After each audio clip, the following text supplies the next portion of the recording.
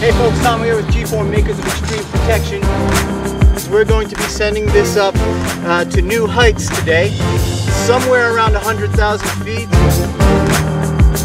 Concrete block, 12 pound ball, 3 feet high. And as you can see,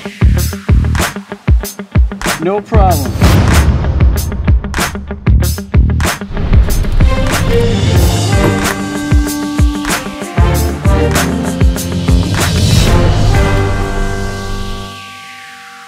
Unbelievable.